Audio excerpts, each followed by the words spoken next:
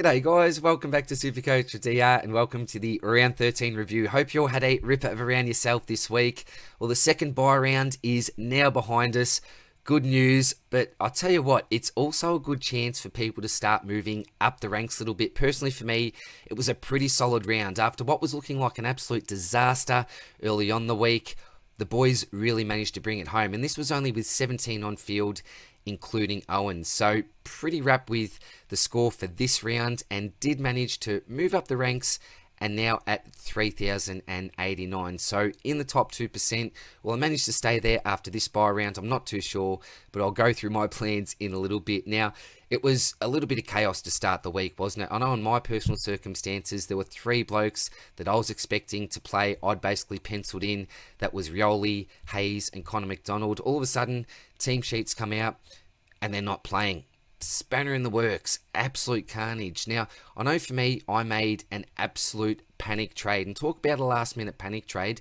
There was 10 seconds to go before the start of this match. End that pressing confirm trade, and then my heart just sank basically as soon as I did it. But that's what's going to happen after a couple of beers under your belt and wanting to get a real advantage over the competition. But it is what it is. We'll talk about that when I actually show you what the team's looking like. It was actually good for me as well this week to actually get an eye test for the first time in a long time. Just haven't been able to watch full games of football due to the fact that I've been so crook. There was only one match that I didn't watch the full game. I did watch up until half time, but being a non-Stephen Coniglio owner, well, an ex-Cogs owner, and also an ex-Lachie Whitfield owner, but particularly Cogs, it was just like a dagger in my heart. At half time, had to turn it off listen to some classical music and uh, yeah, just not think about the game because he had an absolute blinder and it really hurt not having him this week. But uh, look, that's all for the intro. I'll take you through how the team's actually looking at this stage, take you through how I'm looking for the last bye round, and then talk about my trades and how my final team will be looking after this week. So all the best, guys. Let's see how we're looking. So you can see the current situation we got here, 143k remaining in the bank, 9 trades left. Obviously, we can use 3 this round. I have one more spot to fill. That's in my forward line, but I will need to also fix up a mistake. Maybe not this week, but within the next couple of weeks anyway. But look, I'm pretty happy to start off in my defense this week because every one of the players that I had did their job. The lowest score I had was a 97 from Georgie Hewett. His range has been from basically 111 to 120 for the whole season, bar one or two matches. I can forgive him for going three under the ton. So if that's my lowest score in defence this week in a bye round, I'll take that. That's fine. Sinclair just continues to play good football. This is his third week in a row where he's really shined, dominating down there in the back line, getting some easy football, taking some of the kick-ins. It's basically rinse and repeat for the last three weeks, so got a really nice role. And again, I'll repeat this again, probably the only downside is the fact that the opposition surely has to put a little bit more attention into him. Uh, Hewett, we mentioned, almost got to the ton. That's all good. Uh, really low-scoring game for Carlton mids. Cripper was the only one that went half decent, to be honest. Uh, Crispy, a 1 19. Fantastic game from him. He was pretty huge during this game, particularly in the first quarter. I think he had about 13 touches for over 40 points. Set himself up really nicely and then just continued for the majority of the game. Had a quiet patch here and there, but generally pretty consistent. So wrap with Crispy's 119. Uh, Docherty 139 absolutely fantastic. So he's not a huge pod, but he's a bit of a pod in the back line. If you took the punt on him this week coming off the bye, then congratulations. Um, he's been a pretty recent addition to my side along with Jack Sinclair. Only mistake I made there, I think, was going Docherty the week before Sinclair. That's when Docherty had his 79, which was his lowest score for the year. And Sinclair went along, smashed his, well, didn't smash his break even, but did get his highest score of the year. So apart from getting the order wrong, I think I've got two pretty solid players in there. Uh, Shorty went on over the ton, so 102, that's okayish. McCartan didn't play. Sicily with a 116, again, absolutely fantastic here. Love him as a pick. Basically a Sicily game, wasn't it? Some contested intercept marks, took a few of the kick-ins. When he gets it, kicks it, generally, kicks it long. Couple of clangers there in turnovers, but 116, yep, absolutely fantastic from him. Uh, Alright, so now what have I done here? So let me just get these blokes actually back on. So Brayshaw's on Macrae was obviously off. Sorry, my internet has been absolutely terrible lately. And uh, we had Miller off. So we'll get Trac back on. So, yeah, look, the captaincy for me, I did, and look, you can actually see here now this monstrosity of a trade that I made, but I will get to that in a little bit. Uh, captaincy for this week, I did end up going with Clary. At halftime, this was looking like a potential double ton, so a little bit disappointed that he really slowed up in the second half, but 141 points for a captain with what I've been punching out lately.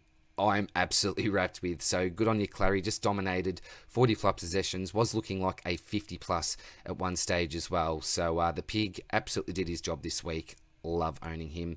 Uh, Neale, he'll have a well-deserved break this week. 123 points. Look, if you had have locked this in as your captain score, as your vice captain score, I would have been absolutely fine with that. And that's probably the advice that I would have given, even if you had the option of putting the captaincy on Oliver. I'm going a little bit safer this year after my captaincy carnage, so don't beat yourself up about that. I think that's a fine score. Uh, Brayshaw, 135. I tell you what, again, I say this every week owning Brayshaw. He looks so much better than 135. I thought this was, you know, 145 at least.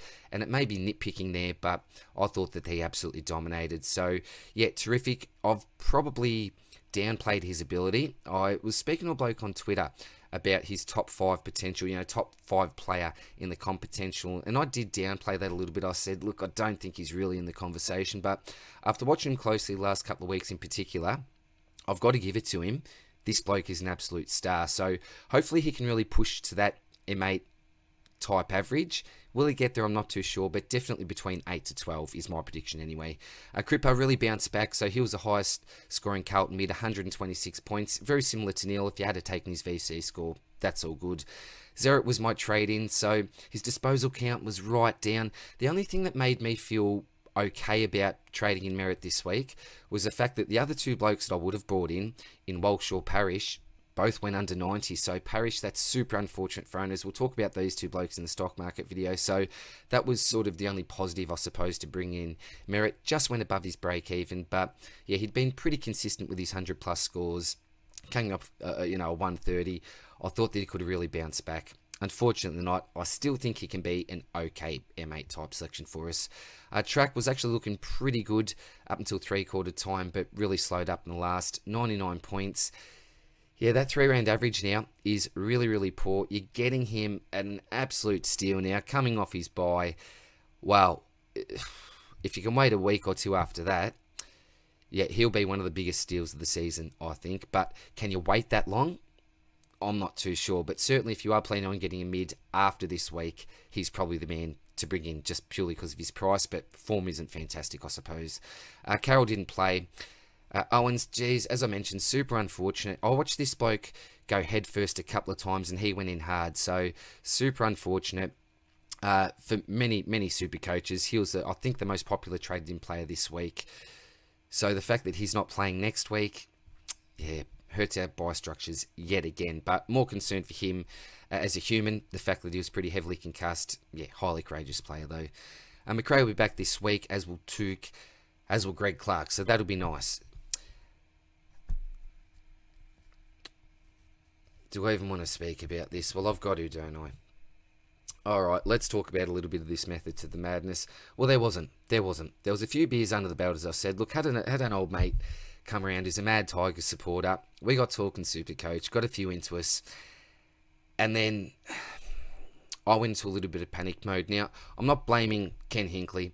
I made my own decision, but given the fact that Sam Hayes was out, I thought, man, this is just so tough now. You know, I was going to be going with 16. I thought, I just can't do that. Missing out on Gawn the week before has really, really hurt me. Cogs as well has been an absolute killer. I thought at this stage of the season, particularly during the buys, I can't afford to go back a couple of thousand ranks, you know, get towards that six, 7,000 spot. I just can't afford to do it because I, I, won't be able to claw back into a decent position. I, I don't think anyway with the cattle that I've currently got. So it was a bit of a panic move. I looked at my options. I thought, well, if I'm going to trade out and do this pod move, which was a silly move in the end, but trade out a premium type player in order to get, you know, 120 points advantage this week, who am I actually going to trade out? So I looked at the midfield options.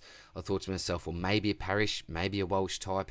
And then I looked around my rucks and I thought, Look, the last bloke I actually want to trade out is Jared Witts. it's a crazy, it's such a rookie move, but the way that the craziness worked out in the end was the fact that Nank had a break even in the 50s.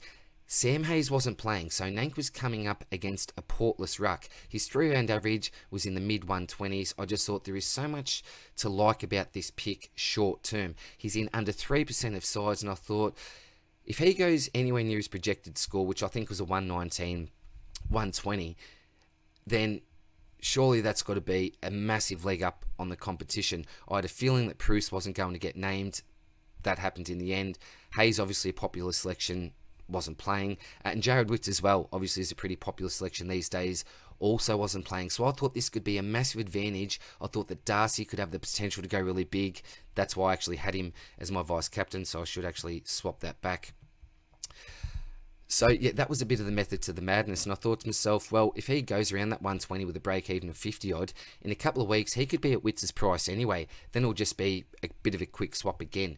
Now, I'm not sure if I'll be able to do that with a quick swap. It may involve two trades, which is really, really going to hurt me. So it was a silly move in the end, trying to get too much of an advantage, but that was a little bit of the method to the madness, just to talk you, I suppose, yeah, give you a bit of an insight into the way my mind was thinking.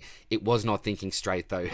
um, but yeah, that's going to hurt, I think, long term. We'll see how we go though with Nank coming up against Carlton as well. So yeah, I, think he could bounce back. But the fact that Soldo played a pretty decent game, I think they'll share those duties a little bit too much for my liking. Just unfortunate. I thought that I yeah, could get an advantage. Oh, Shrek Darcy, you know, looking at him compared to Gawn, particularly in Gawn's first quarter before he got really sore, Gawn does so much more around the ground. Gawn is so much more dangerous around the ground. It just looks like he's going to clunk those marks. With Darcy, it's like he's always in the middle of a pack with four to six players, and he just doesn't realistically look like he's actually going to pull one in. So I think that's the big difference between him and Gawn. And not having that eye test, particularly last few weeks, I was looking too much at his ceiling and potential to go away from the crowd. But as I've said for years and years playing this game, if you do decide to go away from the crowd and decide not to go with someone like a Max Gawn, who we know what his we know what his potential is like. That's why I actually started Gawn this year.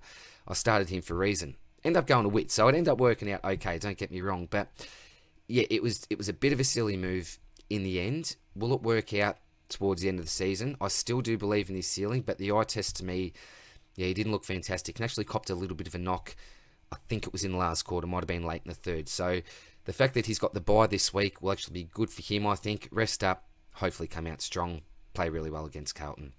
Hayes, look, I might have to get rid of him this week. I hope that he plays. Even if he does, I may still actually trade him out, which is unfortunate. But yeah, just await team sheets and see what we'll do there. Uh, so we didn't have English or Dunkley playing. Brodie obviously did, so I'll quickly just swap him back on. McDonald didn't play as well. Uh, Parker didn't play. Roses didn't play. Rioli really, really hurt me, so I was expecting him to be on field. So that's one spot I was down, two spots I was down. So that gives me 18, 19, and then, you know, maybe a Carroll for 20. So super unfortunate there, but that's just the way it is. That's just the way it is. Um, and Rioli, who, yeah, I don't know if I mentioned Rioli, and McDonald. Brodie, I can forgive him for this game. Now, there's been a little bit of talk that Fyfe has affected him. Well, Fyfe comes in, he gets, you know, an 82. we got to trade him out. Fyfe is just going to do too much damage to him. I don't think that that was actually the case. He still attended, I think, the most CBAs for Freo. He just had a little bit of a down game. He played basically the same role that he's got, so I'm not actually too worried about the Brodie selection moving forward. I'm still really happy to have him in my side. 565,000, averaging 105 for the season. I won't have the luxury to trade him out, so he will be missing this week, but I'll still definitely hold him for the remainder of the season, and I don't have any major concerns. He sort of although we had a down game, it still passed the test to me, what I call the five test, given the fact that I, I truly believe that Fyfe didn't have too much of an impact on his game. So still happy with the Brodie selection. Uh, Butters with an 87, again was looking good earlier on the game. Cop that knock. I was so worried. I thought, well, he's gone next week for sure with a concussion. Apparently not. He came back onto the field. The doctors from Port copped a little bit of flack for that, but you know, I won't make any comment because I'm far from medical expert, but 87, I suppose it's okay. And look at all these did not plays, really, really hurt. Dunkley obviously out and McDonald out. So, um, this week, round 14. So I'll quickly show you round 14, then I'll show you my trades that I'm going to make and what the final team will actually look like. So we'll go. are the blue dots still wrong? Nah, there we go. I logged in earlier and the blue dots are wrong. So Sicily's going to be out. Yep, not much that I can do there. Uh, midfield, so Macrae will come back. That's nice, but Neale goes out. That's not. Oliver out. Unfortunate, but Miller comes in. That's all good. Brayshaw off after a magnificent 135. Oh, I've got Neale back on. I'm not concentrating, sorry. Alright, so that's the best that I can do at this stage. If I don't decide to get Hayes out and he stays in, then that's what I'm doing in the rucks. Brodie goes out. Dunkley comes in. McDonald's obviously off. So that's pretty much the best that I can do there at the moment. So if you go to the defensive line, the count is currently five. So one down. We've got two down. Owens won't play.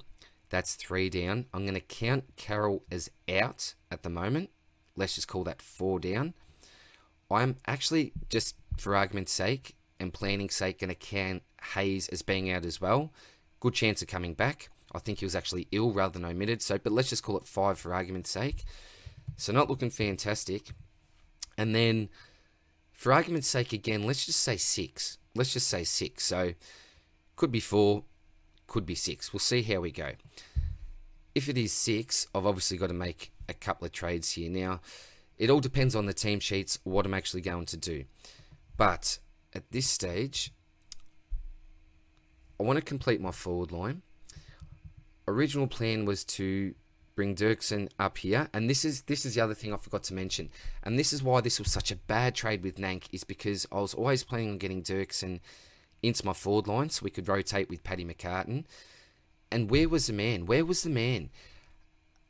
And for some reason I had this brain fade. So the play should have been, and it was a really obvious play, was to bring Dirksen in, trade McDonald out, and then get Ward back there. I think what was, uh, you know, one thing that was preventing me from doing that was the fact that I already had six players playing here. And Ward back there wouldn't have actually counted as an on-field score. So that's the thing that made it really difficult for me at the end of the day. So do you agree with that? Do you disagree? Yeah, all good either way, I suppose. There's arguments either way. All right, so what we're going to do, I think, is I'm getting a little bit sick of Carroll. I think that I'm also going to get rid of Hayes. So let's just do this straight out. Now, this man as well, the Teak, as he's been called, Brynn Teakle, actually booted three in the resis on the weekends and looked pretty exciting. Seems like a bit of a character. Said it was a sick experience, you know. That brings back to primary school the word sick.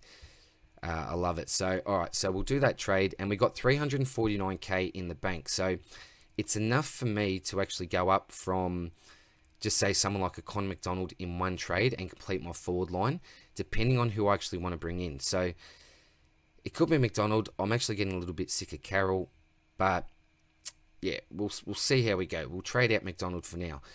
So, how much will we actually have in the bank? We'll have 555. So, we'll go by average here. All right, so English I've got, Dunkley I've got. Bont was the man that I was going to target along with Smith. So one of these two blokes were the blokes that I was always going to target for this position. Obviously can't get Bont just using the two trades. Baz, I'm absolutely not interested in now, obviously, for obvious reasons. So do I go Bont and use an extra trade? It's a possibility. What does concern me a little bit is the fact that he is carrying that shoulder injury, possibly a little bit of an ankle injury as well. Again, he's had the bye the week to rest up. That'll obviously do him the world of good. It's a bit of a tough one. It's a bit of a risk. What I'd love to do is watch him for at least another week and then make the decision, but I don't think I'll be able to afford to do that. So we skip Baz, as I mentioned. I've already got Brodie. I've already got Parker. So if you look at that, I'm not really going to count Baz now as the top as a top six because he's going to be missing the action for a little while. So if Park and Brodie go up, I've basically got one, two, three, let's call it four of the top five. The next option I've got here is Libba, who's someone I'm highly considering. I can actually do that. Bring Libba into the side. Heaney I just traded out, so not even going to consider doing that. This is the other move that I have to consider. I have to consider. Stephen Coniglio. So if I was to bring in Cogs, and I'd hate to do it, but that would probably give me enough cash in the one trade, depending on how Witts and Nank go this week, to simply switch back from a Nank to a Witts or even a Nank to a Gawn. I'm not too sure, depending on what I'll do. That's certainly an option. Now, I'm going to save this for another video, I think, the Stephen Coniglio discussion, because I've been talking about him a lot on Twitter this week. Um, a few yeah, really interesting arguments about whether or not there was any merit to actually trading him out a few weeks ago. I was trying to give an opinion, you know, to support both sides of the argument, but I may actually make a, a separate video purely on that topic, so it's an interesting one. But do I bring in Cogs? It's a possibility. It's a possibility. The issue that I've got is the fact that I traded him out a few weeks ago thinking to myself, no, he's not going to be a keeper. But then things do change. Leon Cameron's now out. His role seems pretty set right there in the midfield. He's playing ultra good football, but he has played some pretty lowly opposition. And his fixture does get a little bit more difficult in the coming weeks. So he's not going to be punching out 174s, but if he's punching out hundreds to 105, that may actually be good enough, particularly at that price. But I can't wait another week. It's got to be this week to get in a forward. So Cogs is certainly another option. Eh, you know, Taranto's a no. None of these other blokes actually interest me. So it's pretty much going to be Cogs, Libba, or Bont using another trade. At this stage, I'm sort of leaning towards Libba. It's going to make it difficult, though, yeah, to get on to Nank. The other thing I could do, the other thing I could do, if I wanted, was to trade out Carroll, because he's just going to be a bit of a nothing pick, isn't he? Maybe bring in Judson Clark. Would you think that either him or Rioli play from week to week? Maybe the idea behind it is if you've got two, at least one of them's going to be in the senior side. I'm really not too sure about that. And in getting a bit of a dead rookie off for a bloke that looked pretty exciting, has some DPP, and may actually be a pretty good combo with Rioli, I can then also bring in Bont. Will I have enough to secure possibly Nank to Witts in the one trade though? So 25k, probably not that's an issue. I'm not too sure what to do here. It's it's really hurt me going Nank. It was such a silly move. Hmm. Maybe I'll just see how Nank goes if I can afford to do that, depending on the fixture and times and all the rest. But let's just say I do this for now. Bont is an uber primo at the end of the day. his body just concerns me. Playing that forward role, I'd much rather him in the midfield. We'll see what happens. Alright, so if we look at how I'll be set during the byes now, if I was to do that. So Clark comes back on. Well, I'm not sure what's going to happen with Rioli, am I?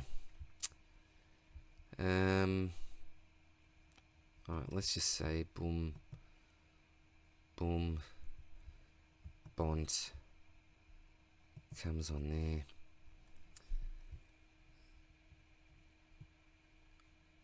Alright, I'd still be one down in the ruck. So it's pretty safe to say that all these blokes be playing. So I've got a full forward line there. I'm one down, two down,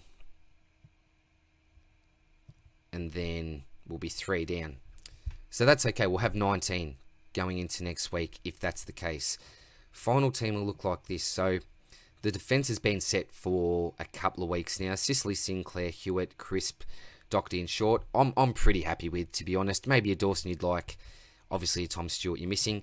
And having Paddy McCartan as cover for the defensive line for now. A little bit disappointed I haven't managed to get that swing into my forward line. I still might. May make a change of plans. That's frustrating, but having him there, I think, yeah, he's, he's absolutely ideal for cover. In the midfield, so this, yeah, it gets a little bit dicey here. So I'll get Clary back on. Owens, what's going to happen to him? For the rest of the season. I'm not too sure. Get him on, and I'll boot Greg Clark off and get my man Lachie Neale on. So I've got Clary Neale, Macrae, Miller, Brayshaw, Cripps, Zeret, Petracca. So you're not really wrapped from your sort of M5 to M8, are you? You know, there's no Mills, There's no Laird. Even though he had a down game on the weekend, I really like Walsh as a selection. Parish, again, down game and injured, but I like him as a selection as well. But look, who knows? Uh, these guys could elevate their game. I think Brayshaw in particular has the potential to do so. And Walsh may go through a bit of a quiet period. Don't know what's happening with Darcy and these types either. So it's okay, but I am definitely missing a couple of the big dogs, I think, here. This is just a bit of a disaster, I think, in the rucks. And this is where it's going to hurt me. So what am I down to? Six trades left with 25k. And again, this is, isn't definite. But yeah, I need to do something here by the end of the season. Nank and Darcy, compared to those people that have, say, a Gawn and Witts, how many points am I going to be leaking each week? Look, who knows? Darcy may go on one of his massive runs. We saw what he did last season. That's a big part of the reason why I got him in a couple of weeks ago. Hasn't worked out so far, but it might. So, look, I'm looking at worst case scenario here, but also trying to be realistic. I just think that this is a bit of a subpar combo. But it's life, and that's probably what I'll run with for a little while anyway. And then the forward line. So I'm actually pretty stoked with this. Brodie in there. So got English, Bont, and Dunkley, who I think have the potential to be F1 to F3. You got Parker, who I think is a pretty clear, uh, you know, top six forward. You've got Will Brodie, who were a little bit disappointed with last week, but I'm not panicking, as I said there. And Butters is probably that bloke who's a little bit dicey. But given the fact he's sitting at F6 at the moment, that's okay with me. So that's sort of how the final team is going to look. Not ideal, but I do have six trades left in the bank, 25k. I've got some really solid cover here in Paddy McCartan. I've got some solid cover, I think, in Greg Clark. I've got some DPP now in my midfield, which is good to get back. I think having the Clark Rioli combo could be beneficial, as it's my prediction anyway at this stage that one will be playing senior football at any particular time. You have got Castagna, I know, to come back, so or did he play? I'm not too sure, but that's just yeah my prediction moving forward. I've now obviously got this link here, so English can easily cover in the ruck, and I tell you what, this could actually be ideal for this week. Come to think of it, because if I just go back to my buys Tickle, let's just say it's a miracle that Rioli gets back in, I could actually have an extra one for cover, which could be handy.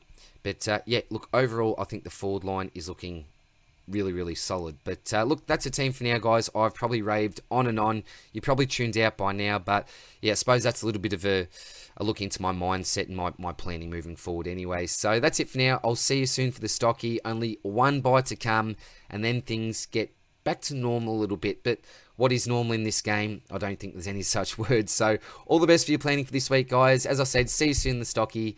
Take care. All the best.